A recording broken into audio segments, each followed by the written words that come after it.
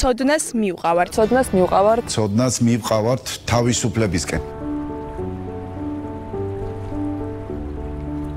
In every nation across the globe, you'll find glorious people who shaped their countries, and Georgia is no different.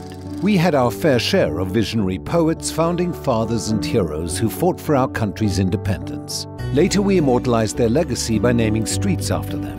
This way, new generations would always know the value of their heritage, or so we thought.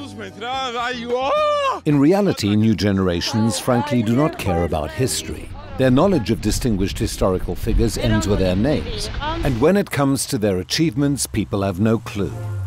For the 101st anniversary of our country's independence, we teamed up with the Ministry of Education of Georgia to remind people about our national heroes and bring back pride among all generations, we turned streets into an effective educational platform.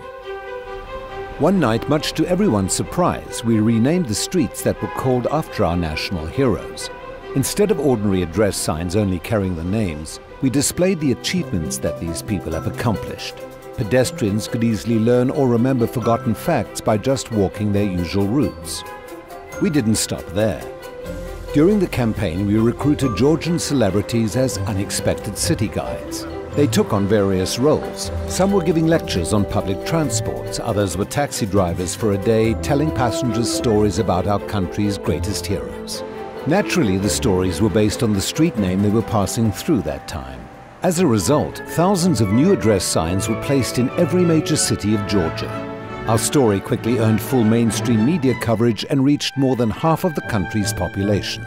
Young Georgians discovered new facts and started to share knowledge on social media. Georgia's president herself posted about our campaign. The summarizing video had over 5,000 shares in just a couple of days, turning our story into the most viral campaign of the year. Well, not all roads lead to Rome, but now some Georgian streets educate people and lead them to freedom.